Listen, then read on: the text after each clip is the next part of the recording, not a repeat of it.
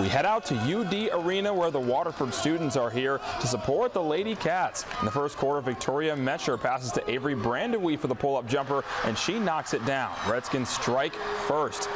Minutes later, it's tied at two. Kendall Surrey kicks it out to Avery Smithberger, who misses, but Surrey gets the offensive rebound and puts it back up and in. That puts Waterford on top 4-2 early on. Moving to the second, Lady Wildcats now down three as Elsie Malik passes to Smithberger. She tries a three from the other corner. This time she buries it. That ties the game up at 11. But Fort Loramie would respond. Skylar Albers pulls up for the three. That's off, but Avery Brandewie is there for the board and the putback. The Redskins would take a 20-11 lead into halftime.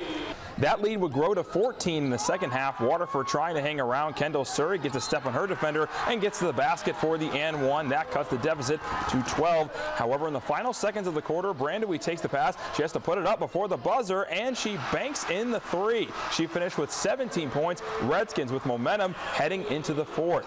They lead it by 11 with under five minutes left. Jaden Rose able to get past Surrey. She then drops it off to Summer Hoying for the layup.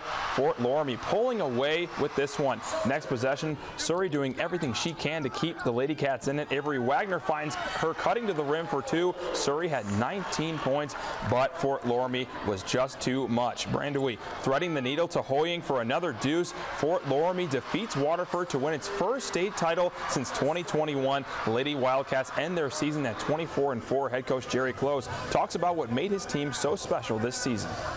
I think it was the doubters because they were told, they've been told they weren't good enough. They were told at the beginning of the year. I mean, some of our best loyal fans said, boy, this isn't going to be your year. And, you know, hey, I, I, don't know if any, I mean, I don't know how closely you follow our program. We get better um, because of our kids. We get better as the year goes on. And these kids are no exception. I just think they took it to another level this year.